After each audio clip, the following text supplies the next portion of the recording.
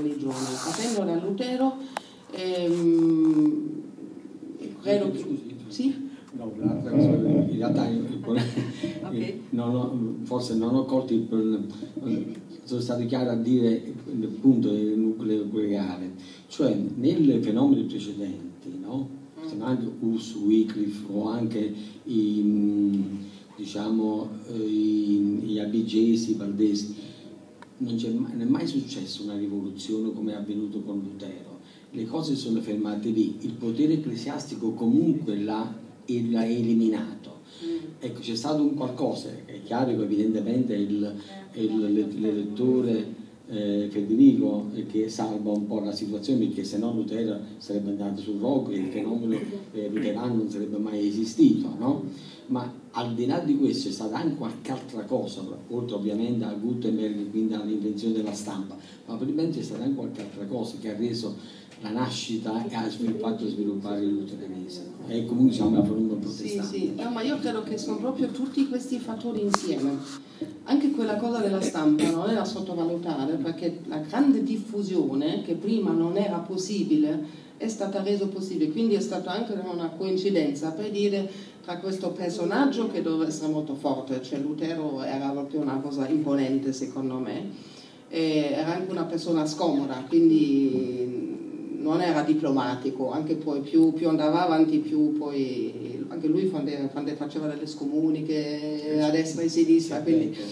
in, realtà eh, e quindi non era facile da tacere. Ehm, insieme con la situazione ecclesiastica e politica in quell'epoca in Germania,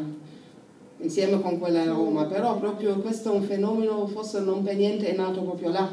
Ehm, io adesso per esempio sto studiando molto perché facciamo del- delle cose a Napoli, sto studiando la riforma qui a Napoli, quindi non quello di Lutero che è importata qua, ma sto scoprendo che in Italia, cioè anzi Napoli era la culla della riforma in Italia, venendo dalla Spagna, non dalla Germania, dalla Spagna, veniva qui Italiano Brado, sono lì Valdés e Contoni, Giulia Gonzaga, Capitolo Colonna, cioè nomi famosissimi che erano tutti in questo circolo che ha, in realtà non ha niente a che fare con Lutero, è tutta un'altra cosa, però la culla cioè, era qui, quindi era molto forte, la chiesa qui era spaccata in due come in Germania, però qui non ci sono tracce, quindi qui l'Inquisizione ce l'ha fatto, non so perché, quindi sì, ma è proprio questo, un fatto anche di, di, di territori, di, di politica, perché in Germania ha fatto tutto quell'effetto e qui no perché qui era lo stesso movimento, le stesse persone, Bernardino Occhino erano dei personaggi, però sono stati soffocati con cioè, questi 1500 anni prima, sì, ma anche già, cioè, tutti l'hanno eliminato. Ehm, ho fatto santi, però, uno all'altro. E invece con Lutero credo che uno sì, anche della stampa, perché ha fatto una... Cioè, la stampa per quello, perché con tutta questa diffusione, allora e a un certo punto si trovano atti anche dell'Inquisizione qualcosa che era difficile a un certo punto fermarlo,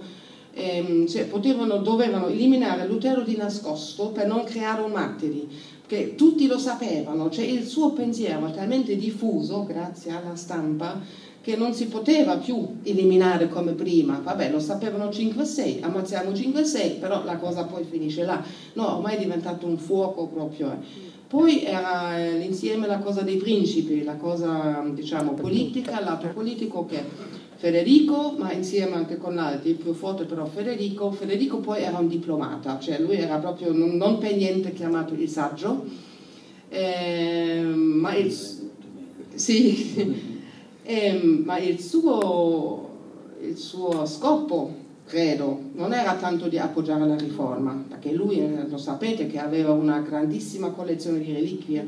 appoggiando la causa di Lutero, infatti ammazzava se stesso, con, cioè lui ricavava tanti soldi da questa esposizione e tutto, quindi del pensiero non credo che lo abbracciava de, del tutto, eh, però l'ha sostenuto uno anche per orgoglio, perché ha appena formato la Loicorea, quindi questa famosa poi eh, università a Wittenberg, eh, che con Lutero e Erasmo e anche altri avevano dei personaggi. E quindi uno di questi personaggi lo volevano far fuori, no, cioè proprio anche no, cioè senza di me. insieme con il tempo che era maturo, che lui insieme con altri principi, che nel film si vede, dopo poi alla fine si oppongono, di staccarsi dal potere di Roma, non ne potevano più. Cioè i tedeschi volevano stare per conto loro, cioè già volevano eliminare sia l'influenza del Papa e tutta la curia, sia di Carlo V. Cioè, anche Carlo, io scopro che Carlo V è un personaggio così variopinto che a volte è pro, pro, riforma, a volte è contro, cioè è proprio una cosa anche lì è, non si capisce sempre bene. Eh, ma comunque i tedeschi, i principi tedeschi si volevano liberare da questo, anche dal fatto economico, cioè dovevano pagare un sacco di tasse, quindi eh, conveniva su tutti i lati, sia politico sia economico, e Lutero era, era lì nel momento giusto, cioè poneva opponenza e quindi questa causa che ebbe Lutero era sempre soltanto teologico, cioè, anzi personale in realtà, non era neanche un teologo per sé, era un biblista.